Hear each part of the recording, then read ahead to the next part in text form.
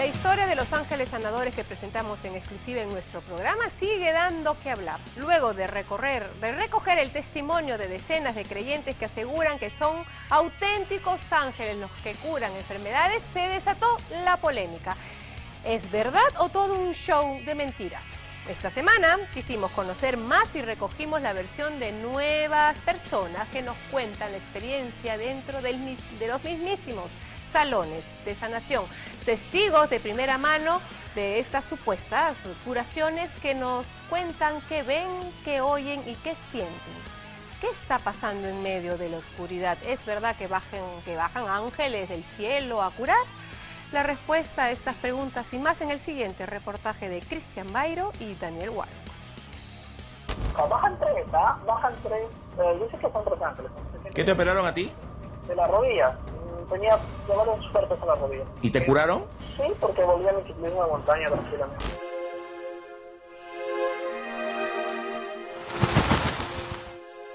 Sientes sus manos. Eh, ¿Cómo son? ¿Frías? ¿Calientes? Suaves, pero gigantes. Sí se escucha el aleteo, claro, cuando baja. ¿Se escuchan las voces de los ángeles? Es verdad usted escucha ahí que llegan varios ángeles.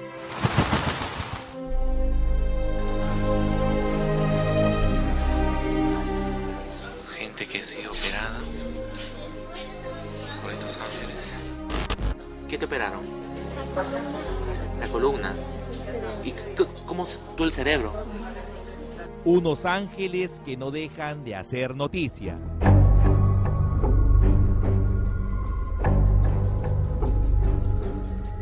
Podría tratarse de una estafa, podría tratarse incluso, incluso se ha dejado entrever, se ha dejado entrever de versiones acá de posible tráfico de órganos. Este ciudadano llegó hasta las instalaciones de la Fiscalía con la finalidad de interponer la denuncia en contra de los denominados ángeles sanadores, puesto que le dieron medicina natural, la misma que a la fecha ha perjudicado su salud. La experiencia de mi hermana era diferente porque mi hermana había sentido que su cabeza le sentía que le abrían la cabeza y lo operaba le abrían la cabeza y lo operaban. Ella, me dijo que sí, pasaba eso, sonaba, me hizo. ¿Sonaba que el hueso del cráneo? Ah, sí, sonaba. Estos tipos juegan con la fe de la gente. Los ángeles no anuncian su aparición y no cobran por dar vida. Todo es verdad y no es como lo han querido exponer ante las cámaras. Aquí solo importa tu fe.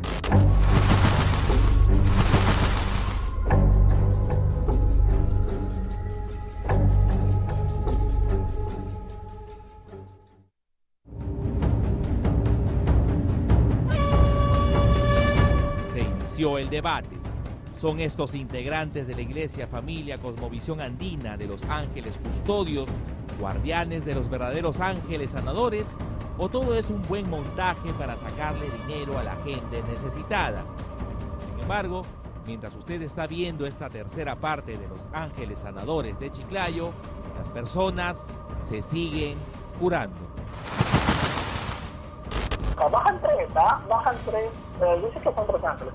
¿Qué te operaron a ti? De la rodilla. Mm, tenía varios fuertes en la rodilla. ¿Y te curaron? Sí, porque volví a mi ciclismo de montaña tranquilamente. David Guerrero es abogado, vive en Chachapoyas y es testigo de estos rituales donde confirma los extraños ruidos de aquella habitación oscura donde asegura haber sido curado por los ángeles. Es como si tratas de pasar de una dimensión a otra. Tratas de entrar, o sea, y te cuesta entrar, pero bajan tres. Pues. Ellos te saludan en quechua, pero también hablan en, hablan en español. Y dime, ¿y se escucha el aleteo? Claro, se escucha el aleteo, pero es algo grande. ¿No has escuchado alguna vez, has procesado el aleteo de un cóndor? ¿Le procesaron el aleteo de un cóndor cuando lo quieren hacer atrapar o algo? No, es algo pequeño, ¿qué pasa? Eh, yo no tenía, pues, el temor por los no todo el sonido, ¿no? Porque cuando cae en la mesa es algo grande, que golpea fuerte, algo pesado, que no, no pesa 70 kilos lo que baja. Este valioso testimonio nos narra el porqué el cuarto oscuro. ¿Cuál es el argumento de estos hermanos para operar sin luz? Preste mucha atención. ¿Por qué hay seres de luz que supuestamente los ángeles son seres de luz? ¿Por qué oscuras? Porque esto te hablaba que los ángeles no son como, como los pinta la iglesia católica, o como los pintan que son hombres rubios, de aleteados, ¿no? Como un cuadro de Leonardo da Vinci. En realidad los ángeles tienen otra figura, que, que es una bola de fuego, como una bola de fuego.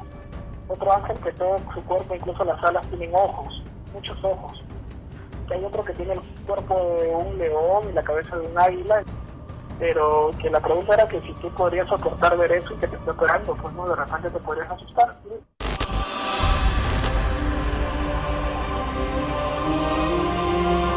Gracias a Dios, gracias a los ángeles también que hacen de milagros, ¿no?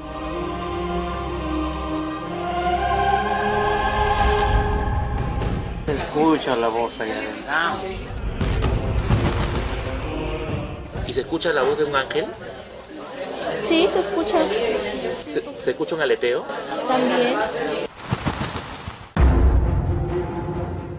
Luego de emitir nuestro informe que incluyó momentos de mucha tensión, ¿Sabe qué, doctor? Es mejor que guarde su, su, su equipaje. Sí, está prohibido. ¿Qué pasaría si tú pasaste ese cerco y te metemos un balazo? ¿Qué pasaría, hermano? son muy temerosos, no sabemos de qué. Ya, ya, ya, madre. No, no, saca, saca. Yo me meto. ¿Me vas a pegar? ¿Me vas a pegar? ¿Me vas a pegar? Ah, mira, tío. ¿Me vas a pegar? No, aquí está. Sácame. Ay, mira, no, ya. Quítame.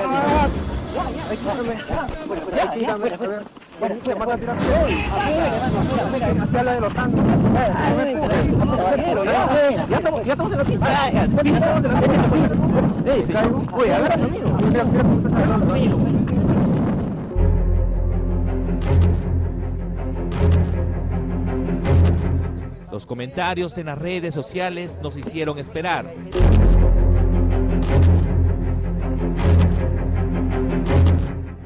Ojalá alguien pueda decir, sí, fui curado por los ángeles sanadores, claramente y sin rodeos, y mostrar pruebas. Por otro lado, tengo entendido que les llaman operaciones, pero no es una operación como en los hospitales. Bueno, ojalá alguien diga, sí, es verdadera, ellos me curaron mostrando pruebas y no así nomás. Hay innumerables personas que pueden afirmar que se curaron en Ayacucho, Amazonas, Arequipa, Chiclayo, Cusco, Huancayo, Lima, Ica. Es fácil criticar siendo espectador, pero es gratificante ser testigos de un milagro. Lo que crees es lo que es. El obispo nos dijo que en principio Dios no cobra para sanar, lo que ellos supuestamente sí hacen por versión de una persona acá de Chiclayo, la que tuvimos acceso a entrevistar. Las sanaciones y los milagros lo hacen a plena luz del día, en cambio acá se hacen horas de la noche, ¿no? Dicen que para mayor tranquilidad y para que Laura esté mucho mejor. Y nos dijo que por lo que él presume, por lo que él presume, podría tratarse de personas que se están aprovechando de la confianza, de la sencillez y la necesidad de sanación de algunas personas con estos males, ¿no? Max Sandoval es director del diario La Verdad de Chiclayo. Los Ángeles Sanadores fueron noticia desde hace mucho tiempo, pero hasta el momento que al sexto día hizo suya esta información con imágenes nunca antes vistas de esta iglesia, este medio de comunicación tomó la posta. Yo hablé eh, ayer en la mañana con la doctora Ivonne Zárate, es la fiscal de prevención del delito, y me decía que sí he tenido conocimiento de que hay personas que han sido tocadas en, en la cabeza, en la columna, que sí ha habido eh, incisión, que tranquilamente, y no estamos asegurando nada, podría tratarse de una estafa, podría tratarse incluso, incluso se ha dejado entrever, se ha dejado entrever de versiones acá de posible tráfico de órganos. Todavía no hay una versión exacta, precisa de, de una denunciante, no estamos asegurando nada. Hay una famosa folcloróloga, escritora cusqueña, Alfonsina Barrio Nuevo, que escribió acerca de los apus, que son seres vivos, son entidades, son semidioses o casi dioses, que ejercen influencia en todo su entorno geográfico, protegiéndolo. Según el investigador en temas paranormales, doctor Anthony Choi, esta no sería más que una especie de copia de ritos incaicos relacionados a los dioses protectores y sanadores, los apus. Curiosamente, Cristian, hablan de un tema, un esquema muy parecido, que en las alturas del Cusco o de Apurima, por ejemplo, eh, era la gente, los pobladores, los campesinos, iban, eran citados a una cabaña donde había un oficiante, un, eh, sacerdote andino, que lo dejaba totalmente en oscuras esa habitación, eh, convocaba a los apus y escuchaba exactamente lo mismo, los aleteos, las garras en el piso, y ellos decían, "Ah, ha venido el apu en forma de gran cóndor, ¿no? Y entonces de esa manera curaba. Es prácticamente lo mismo que se está aplicando en, en estos grupos, que se hacen llamar, algunos le llaman, conocen como los papitos, otros como los ángeles sanadores, y así por el estilo. En Lima, tuvimos la oportunidad de conversar cara a cara con este joven quien junto a su madre y su padre pasaron por esta, hasta el momento, casi inverosímil experiencia de curación. Tú mandas un mensaje y ellos te dan, digamos, el, el itinerario de visitas. Así es, solamente a personas así allegadas porque siempre van a ir al lugar. ¿no? Mira, por ejemplo, acá es este, un lugar cuando van a estar acá ellos presentes, ¿no? generalmente en Lima. ¿no? Su nombre es Efraín y no desea que su rostro sea reconocido por completo por temor a represalias de este grupo y lo entendemos.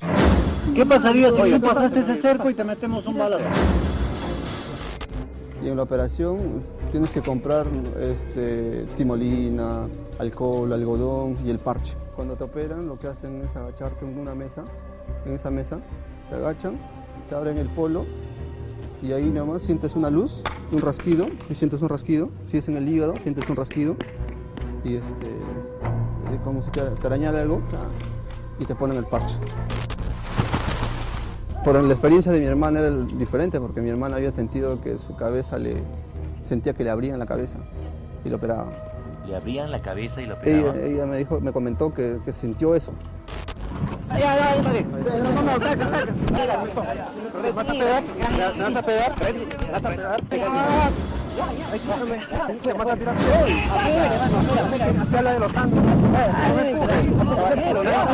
Y como es reiterativo en este tipo de prácticas, el secretismo tiene que ser absoluto. Por lo que he podido ver a, ustedes casi lo han agredido en Chiclayo, ¿no? O sea, si yo creo que si fuera algo, algo de Dios, yo creo que les darían las facilidades para... Ah, es más, está prohibido llevar cualquier celular ahí. Nadie, está, nadie puede entrar a, este- ese lugar con celular. Es- eso es un requisito indispensable. Cuando tú haces cola te dicen cero celular, cero celular.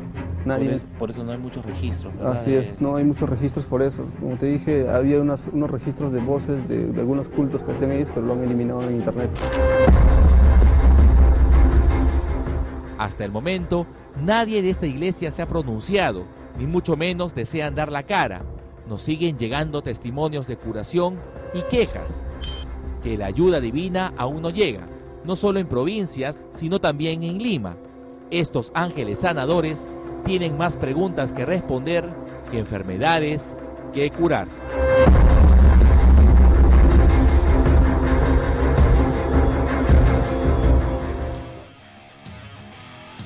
Cristian Bayo preguntó a varias personas si cobraban. La respuesta eran sí, sí cobran, entre 15 y 35 soles según el caso.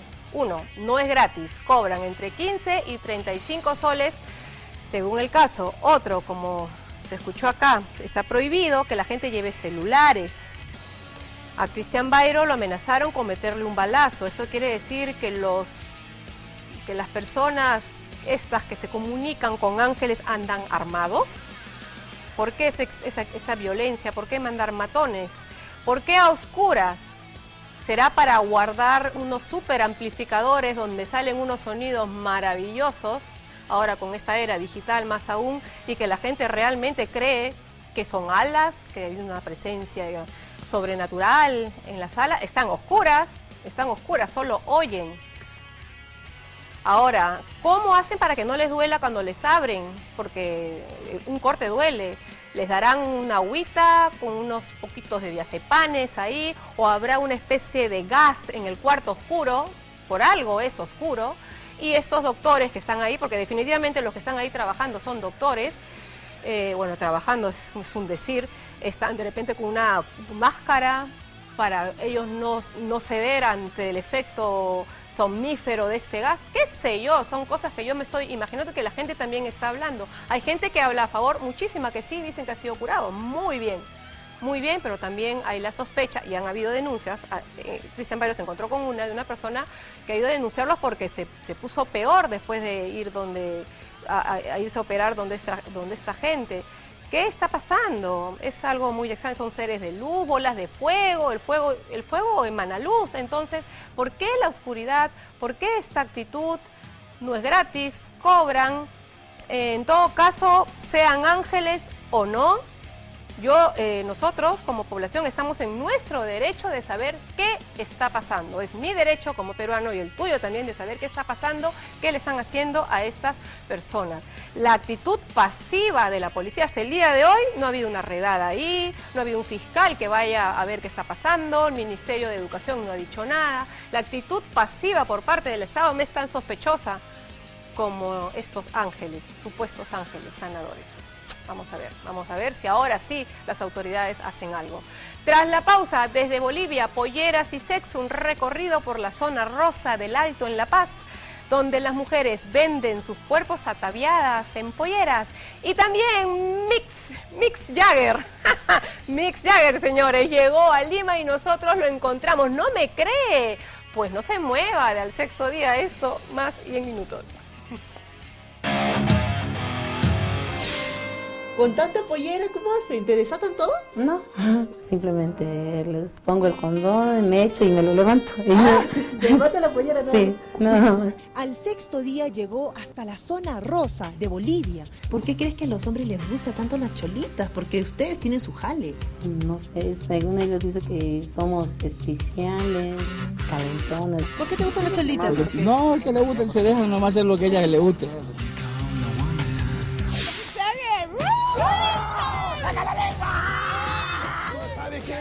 Farfán, no, no. Hoy en el sexto día, Cachay estará más testón que nunca. Tócame que soy monstruosidad. Bueno, aquí les presentamos la maqueta de la embajada para recibir a los extraterrestres. Con ustedes, los raelianos, un grupo religioso que asegura fueron los extraterrestres los que nos crearon. Mira, un ovni. ¿Y usted cree en las coincidencias? Sepa la relación entre los raelianos y el famoso ovni de Miraflores. Misma hora, misma duración, mismo lugar, mismo día. Nosotros realizamos una conferencia de prensa